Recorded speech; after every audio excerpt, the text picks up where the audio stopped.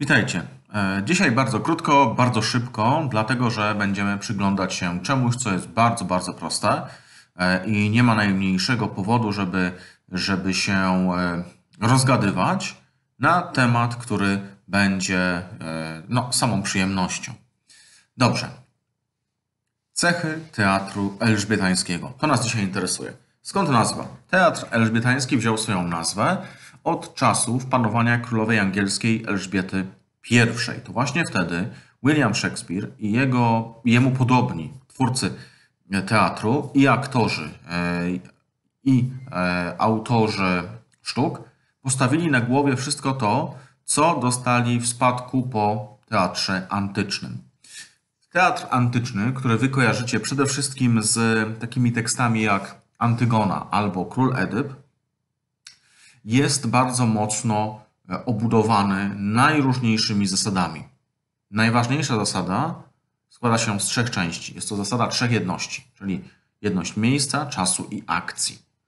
Każda tragedia albo komedia antyczna rozgrywa się w jednym miejscu, dotyczy jednego, tak, jednego problemu i toczy się w ciągu jednego dnia, najczęściej od wschodu do zachodu słońca.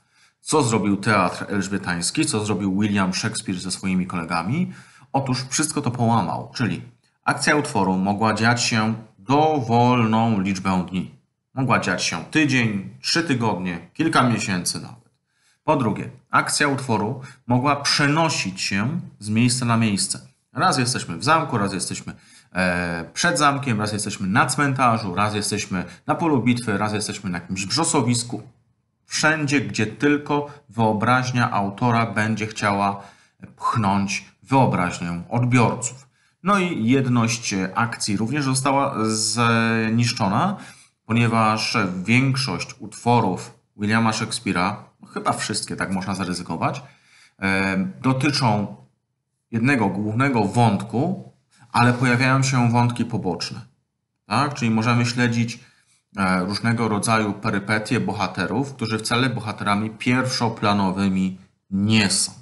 Więc złamanie trzech jedności to jest podstawowa e, rzecz, którą zmienił teatr elżbietański.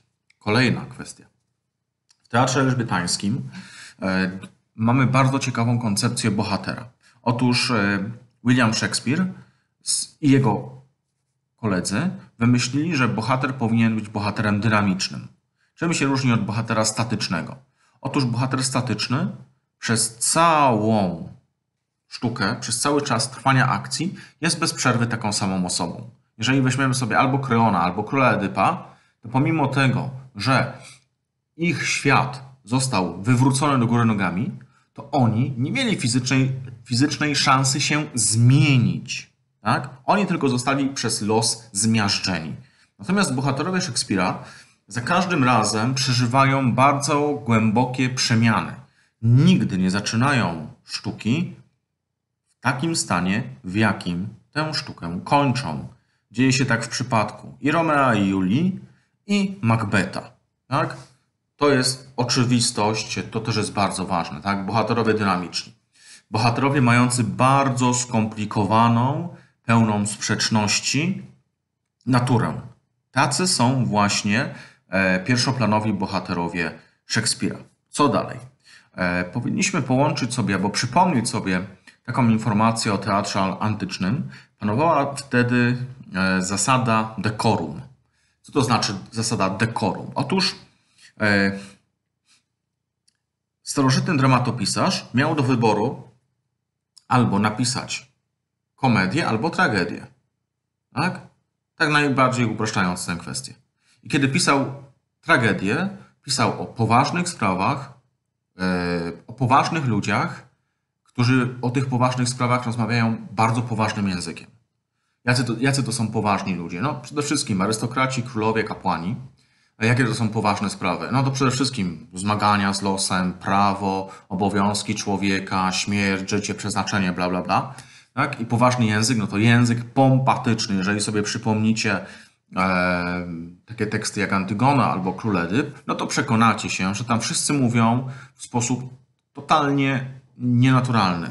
wygłaszają swoje kwestie i to wszystko brzmi jakby głosili kazania, a nie rozmawiali ze sobą zwykli ludzie. Natomiast kiedy autor antyczny pisał komedię, no to e, ludzie niepoważni rozmawiali o niepoważnych kwestiach niepoważnym językiem, czyli ludzie, bohaterowie komedii e, antycznych, no to byli ludzie z nizin społecznych, rzemieślnicy, kupcy, e, prostytutki, żołnierze, rozmawiali o niepoważnych rzeczach, czyli najczęściej, najczęściej o sprawach damsko-męskich e, z uwypukleniem, nawet dosłownie, kwestii erotycznych.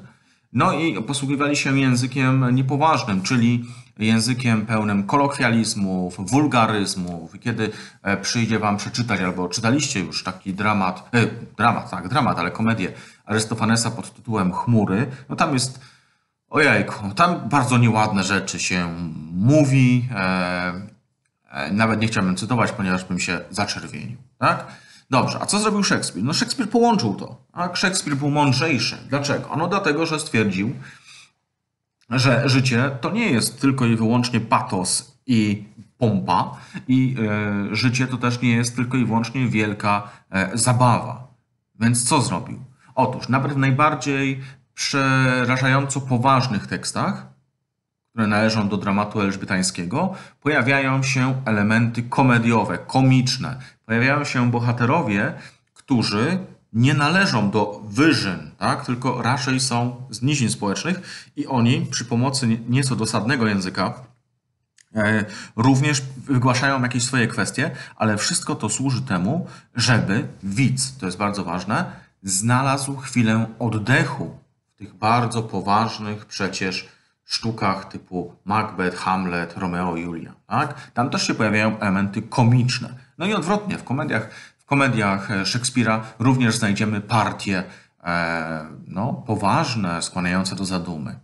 Co jest jeszcze takiego bardzo istotnego e, w teatrze elżbietańskim? Kwestia sceniczności. Otóż wyobraźcie sobie, że teatr elżbietański, który był bardzo często teatrem wędrownym, czyli trzeba było spakować się do dwóch, trzech wozów i ruszyć przez kraj, żeby zdobywać pieniądze, no bo aktor był zawodem, no to nie była idea, tak? to nie było posłannictwo, to aktor to był po prostu zawód. Tak? Więc trzeba było się spakować, zwołać grupę innych aktorów, no i ruszyć w trasę e, koncertową. Oczywiście dam cudzysłów tutaj. E, więc e, co było najtrudniej zabrać?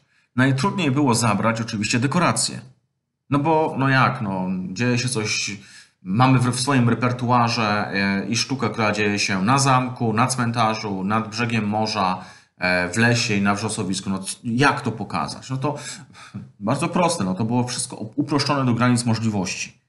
E, to znaczy, na scenie stawiano po prostu znaki informujące o tym, że akcja utworu, akcja danej sceny dzieje się w lesie, tak? a potem dzieje się w zamku. Tak? Taka była e, informacja, którą gdzieś tam przybijano albo stawiano specjalny znak, i to miało zasugerować, że e, tak, a nie inaczej należy sobie wyobrazić przestrzeń, w jakiej rozmawiają ze sobą aktorzy.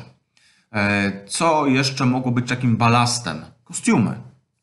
To zadziwiające, ale gdybyśmy dzisiaj żyli w realiach teatru elżbietańskiego i gdybyśmy dzisiaj chcieli pokazać na przykład um, Romea i Julię, to moglibyśmy wystąpić w ubraniach, które nosimy na co dzień.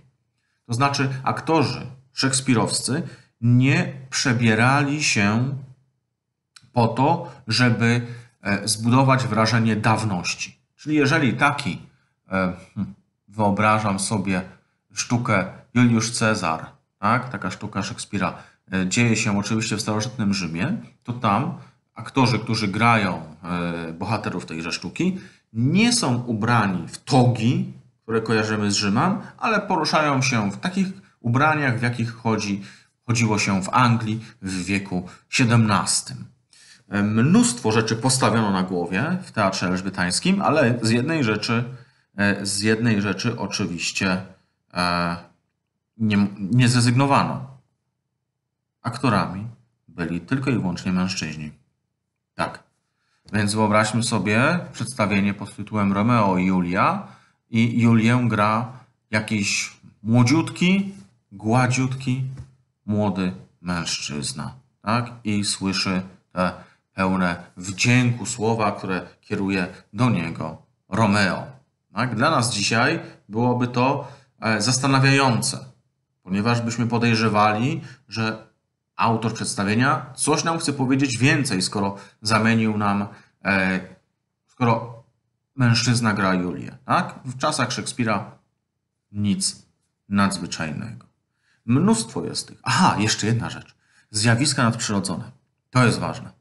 E, Szekspir, jego koledzy wpuścili na scenę zjawiska nadprzyrodzone, czyli duchy, zjawy, e, sny, e, szaleństwo, które objawiało się no, bardzo dziwnym zachowaniem. To nie jest zjawisko nadprzyrodzone, tak? ale szaleństwo znalazło swoje, swoje miejsce w teatrze szekspirowskim. Po co to wszystko jest?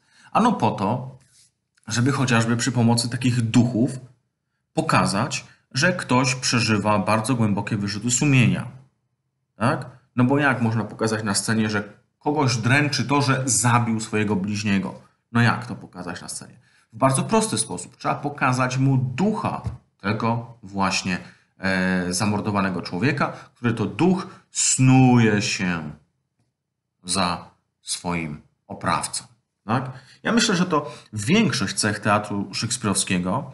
Mamy tutaj jeszcze kilka, być może nieco pomniejszych, ale pamiętajcie, e, Szekspir i jego koledzy uczą nas jednej rzeczy. Czasami warto złamać jakąś regułę, po to, żeby stworzyć kolejną, być może o wiele bardziej pojemną i o wiele bardziej plastyczną.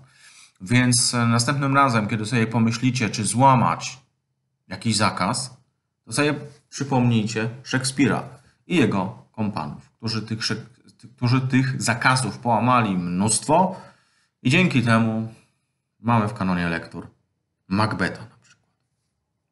Trzymajcie się, pozdrawiam.